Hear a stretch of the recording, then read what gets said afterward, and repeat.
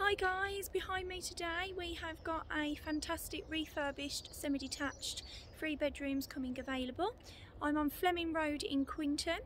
We've got off-road parking and an extremely large rear garden. Two reception rooms, a good sized kitchen with utility area downstairs WC.